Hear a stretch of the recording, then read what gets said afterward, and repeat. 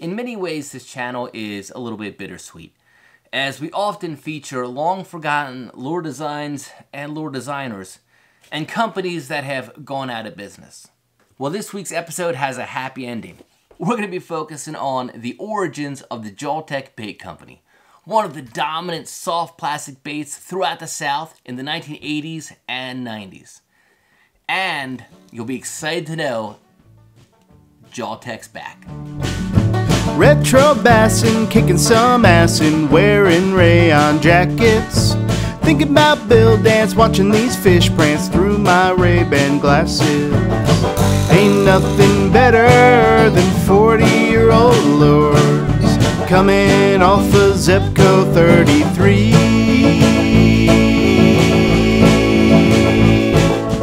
Out on the bass boat, making beer cans float, doing some trespassing. Fishing it old school, this old stuff rules. Welcome to Retro Bassin'. Long before he would become a fixture in the fishing tackle industry, a 14 year old Bruce Benedict was fishing a Dallas Bass Club tournament alongside his father Charles when the pair noticed another angler fishing with homemade, hand poured lures.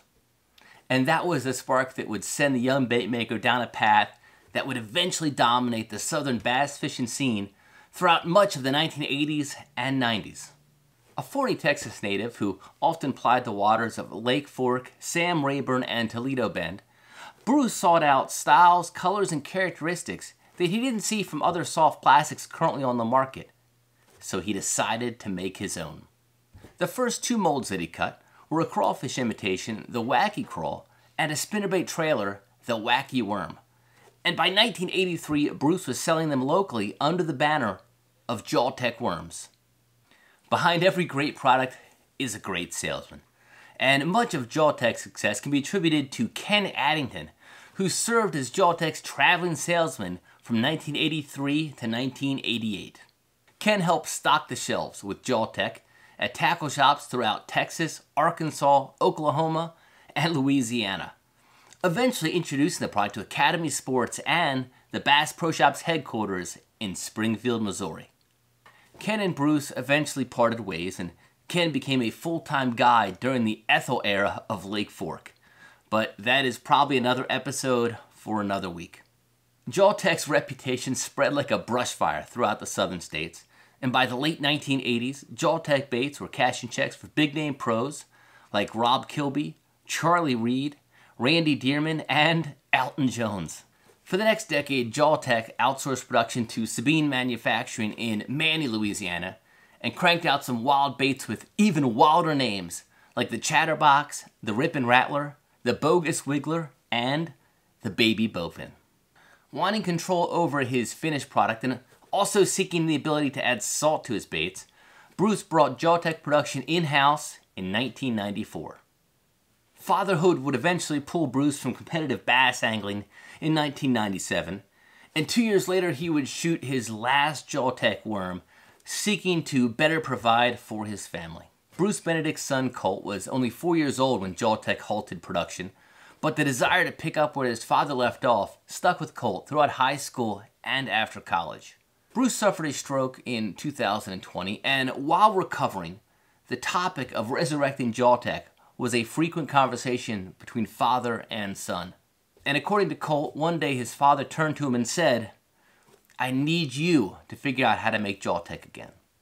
Armed with 30 year old bait making equipment and the 17 original Jawtec aluminum molds, Colt worked nights and weekends for the next four months, perfecting a system for shooting Jawtec soft plastics. Realizing that part time was not going to get Jawtec back to its position of dominance, Colt quit his job to pursue Jawtec full time in 2021. I've gotten to know Colt over the past several months in preparation for this Retro Bassin episode, and I've got to say that Jawtec epitomizes the kind of company that you're rooting for. No surprise, Colt has a ton of Jawtec old school artifacts, and he was gracious enough to send a few to me on loaner so that I could share them with you guys. We are gonna go look through some old school Jawtec apparel. I've got some vintage as well as new Jawtec baits, and this pretty glorious Jawtec catalog from 1994. We're to go through this thing page by page and check out the Jawtec baits that you can't get anymore and the ones that Colt has put back into production.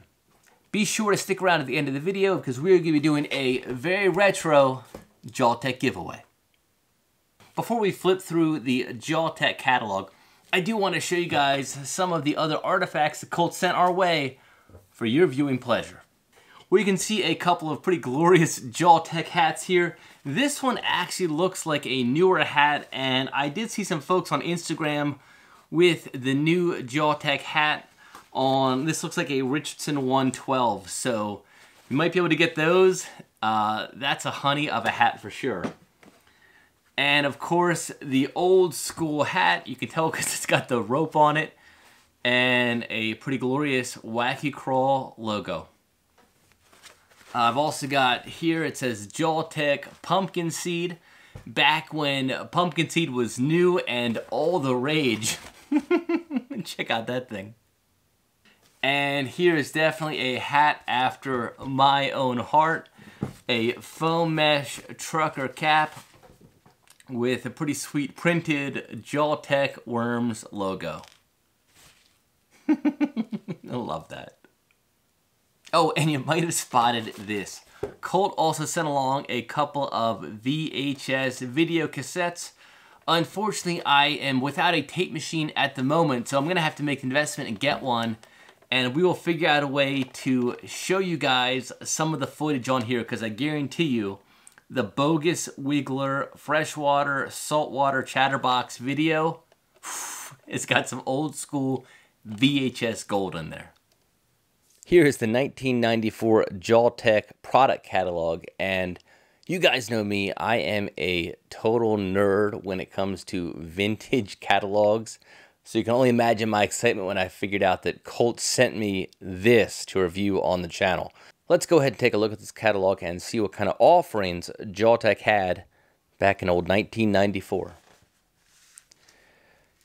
First nice spread we see on the left some Jawtec displays for probably just about every lure in the Jawtec line.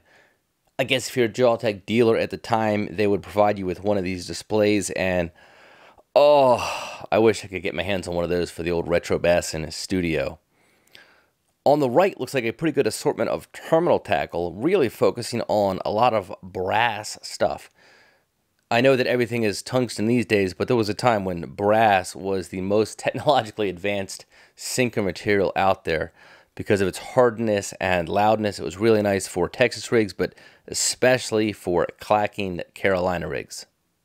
Jawtec definitely had a pretty impressive collection of terminal tackle. And here is a pack of old brass weights that Colt sent me to look at. That is what looks like a ounce, ounce and a half of there. that thing's a monster.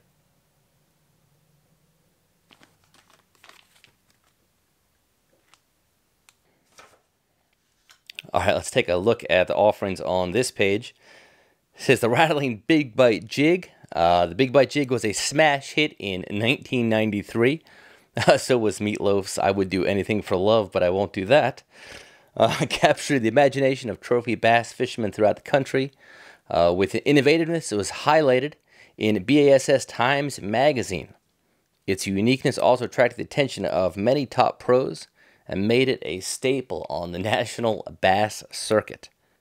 And the Terminator Lizard. This says this lizard is the most versatile lizard on the market, says a former Bassmaster Classic champion Charlie Reed. It's an outstanding lizard when it comes to sluggish fish. Part of the reason is that it floats higher than any other lizard you can buy. This is a really cool lizard. I love the rib design of this. I remember seeing a few of these in person over at Bacon's Tackle.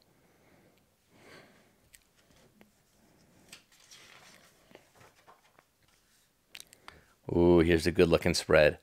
Over on the left, we've got a really nice selection of Chatterbox and Chatterbox associated terminal tackle. Uh, looks like we've got Bruce Benedict there showing off a really nice uh, lunker, probably caught on the old chatterbox. It says the secret behind the chatterbox, now a standard tool on the tournament scene, lies in its erratic, lifelike response to twitching of the rod tip. It never moves the same way twice. Looks like there's a couple of different rattles here an aluminum rattle as well as a standard plastic BB rattle. Here's a pack of Jawtec Chatterbox baits that I recently picked up from, I think it was a yard sale. This thing definitely has a Slug-Go flavor to it, but I love the fact that you can actually place rattles in this. I don't know if this pack comes with rattles or not. Now, it looks like it doesn't, but I know that each one of these baits does have two chambers where you can place a rattle. There's an image on the back of the package right there. You can put your little worm rattle. and my favorite part about this, good fish and Bruce. And on the opposite page, the Rippin' Rattler. I reckon this is a floating worm just sort of by its shape and color. Let's see what the description says.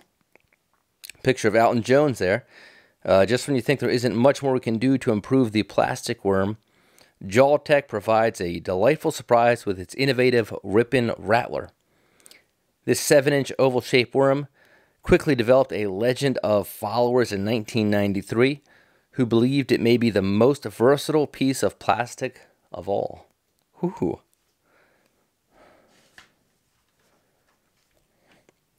Oh, here's a bait I know well the old wacky craw.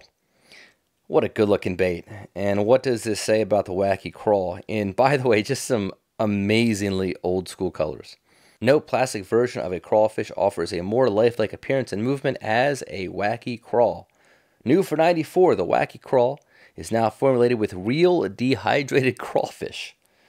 Wacky crawls now taste as real as they look. Here's a nice new old stock pack of Wacky Crawls in a pretty sweet green fleck color.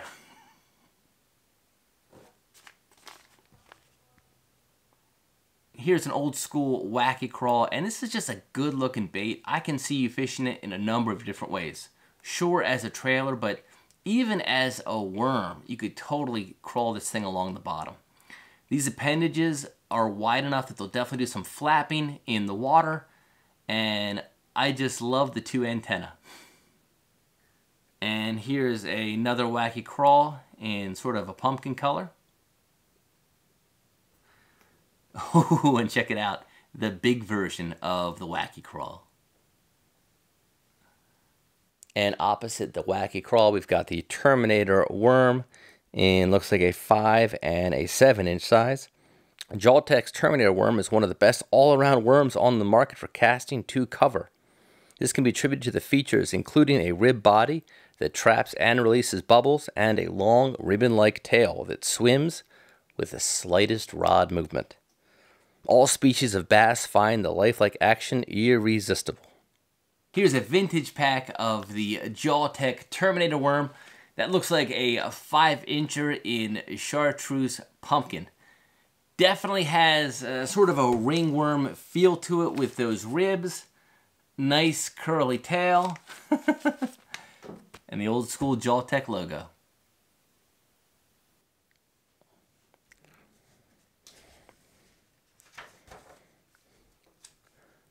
Ooh, we've got four pretty glorious old school lures on here. First, the Bogus Wiggler. The Bogus Wiggler gained legends of followers who know that the short, fat body and large curl tail are ideal for flipping and pitching situations. Definitely one of the best name baits in the Jawtec lineup, the Bogus Wiggler. A worm that's got a interesting, really fat, curly tail, which I'm sure has a pretty sick thumping action in the water. And here you can see a couple of different ways that you can rig up your Bogus Wiggler. Looks like a Carolina rig and, of course, a Texas rig. Here's a bogus wiggler out of the package, and you can really appreciate that tail. Oof, look at that. If that is not a muddy water worm, I don't know what is. And by the way, I love the laminate color on this thing. Below that, we've got the ribbed wiggler. The Rib Wiggler proved its worth in the 1993 BASS National Federation Tournament by providing Mike Holt with his winning catch. And on the opposite page, uh, the old wacky worm. Oh, I know this thing started out as a spinnerbait trailer, but uh, that totally looks like it could have a number of other applications outside of just pulling behind an old Strike King. There's a picture of Alton Jones. The wacky worm is the most potent deep water lure available, says BASS Pro Alton Jones. And this is something Colt was telling me about. The wacky worm is actually a really good deep water bait fished on a little jig head for suspending bass.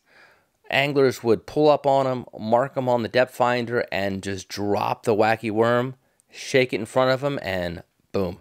Here is a wacky worm out of the package. Yeah, I know this thing was originally designed to be a spinnerbait trailer, but it looks like it could do so much more. According to Colt, this is really one of the first finesse baits that Jawtec came out with, and probably that anybody came out with, to be honest with you. It is a really finessey looking bait, and honestly, I would fish this thing just as it is, either on a light hook or shaky head, Ned rig kind of style. Oof, look at that. Here's one in a blue color, just to give you a different perspective on the same bait. Uh, I don't know. I've got a feeling I'm going to be throwing the thing sooner than later. And below that looks like a saltwater offering, the shrimp worm. Saltwater anglers from Florida to Texas know the allure of the shrimp worm when impaled on a jig head or positioned on a leader behind a popping cork. Yeah, there's no doubt that thing could catch a trout or redfish. I don't know why, but there's something I absolutely love about the shrimp worm. It is just such a unique bait. I know probably designed for saltwater, but I can totally think of a few applications on the old lake where I could use this thing. Here's the Jawtec floater. Looks just a little bit like a flip-tail lizard. It's the best lure I've seen for getting a strike from bass that aren't interested in eating and won't react to anything, says Texas pro Randy Dearman, a Bass winner and Bassmaster Classic qualifier. For that reason, it deserves a spot in everybody's tackle box. And below that, the old four and a half inch baby bowfin. What a wild looking bait that is. The four and a half inch baby bowfin is surprisingly versatile capable of finessing deep water bass on light line or penetrating the thickest cover with the help of a stout flipping stick. It is excellent for enticing skittish cold water bass into striking. That's a mean looking little worm, isn't it? Almost sort of grub like. And we've got the salty dog lizard, looks like more standard lizard. Uh, the salty dog is a big bass lure, plain and simple, says bass winner Randy Dearman. Need proof? It was a salty dog that proved to be the undoing of a 17 pound, 10 ounce Lake Fork bass caught by Stan Moss. Whew. And below that, we've got the French fry. No description necessary.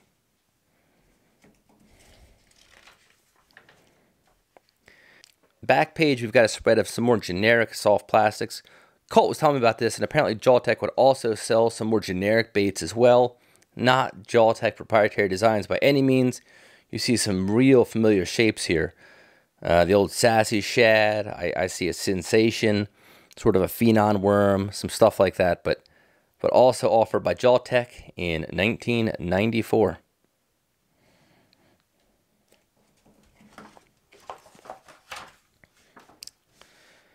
And there is the back of the book. First, we'll see the thumper worm. It says the Thumper Worm is the most versatile of all. It says nine time Bassmaster Classic qualifier Ron Kilby. It is excellent Texas rigged or flipping into heavy cover like brush and grass. And you can rig it on a lightweight and cast it and retrieve it like a spinnerbait or even buzz it on top. You know, fishing that thumper like a spinnerbait, that might be pretty cool. This is a pretty cool picture. It looks like the Benedict family uh, with Carly, Brittany, and Bruce Benedict. I'm assuming Colt was uh, not born yet. There they are posing, it looks like in a uh, portrait studio with some Pretty nice largemouth bass. I'll have to ask Colt how they got those bass there. and last but not least, I'll read this little letter uh, from Bruce Benedict. It says Dear fishing friend, thank you for taking time to look over the product line. After reading the catalog, I hope you'll agree that Jawtec Inc. is well on its way to developing the most complete line of high quality fish producing lures and accessories for the fisherman. Just as important as creating a lure that catches fish, Jawtec is building the industry's most comprehensive support system, ranging from distribution and delivery to merchandising and publicity. It begins with our commitment to listening to fishermen who know what it takes to catch fish consistently. Our field staff of more than 50 anglers provide us with that important foundation that we are able to build products that are effective in all corners of the country. Join us in our merchandising effort and you will quickly discover that Jawtec is a can do company. Whether it's creating enormous product awareness or national publicity, or shipping your order in days, not weeks. It will be a relationship built on profits, not promises. Good fishing, Bruce Benedict, President and CEO. So now for the giveaway. Uh, Colt was courteous enough to send a couple of new packs of Jawtec worms, including these. The Sultan. Ooh, I think that's a new one. A 10 inch bass catching machine, no doubt. Oh, also this one, the Stud Bug. Look at that bait.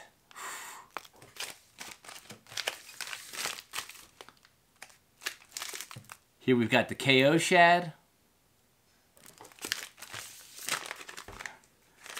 And the brand new and improved Wacky Craw. In addition to these new school Jawtec baits, as you know, I gotta make this giveaway retro. So here's what else is included. I have put together a little retro bass and pack of some vintage Wacky Crawls. You're gonna get six different colors, eight each, for a total of, what is that, 48 wacky crawls? for your old school fishing adventures. Here's how you register to enter this competition.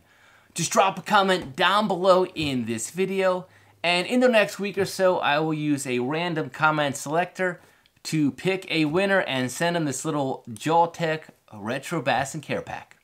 There's a couple of different resources to check out if you're interested in learning more about Jawtec baits. The first thing to check out is the Jawtec Instagram page, which I do follow, and I feel like Colt is posting a picture of a big old Texas Jawtec caught bass just about every day. In addition to that, you can also go to the Jawtec website, and on that website, there is an updated list of all the tackle shops that carry Jawtec baits. Much like Bruce and Ken did in the 1980s, Colt is heavily invested in local tackle shops. So be sure to head over to the website to see all the places where you can purchase Jawtec baits. I'm looking forward to getting on the water with some of these old school and new school Jawtec baits. If you're looking for some more old school fishing content, click right here. Otherwise, I'll see you next Saturday. But until then, keep the carpet side up. And definitely fish it old school. Fishing it old school, this old stuff rules. Welcome to Retro Bassin'.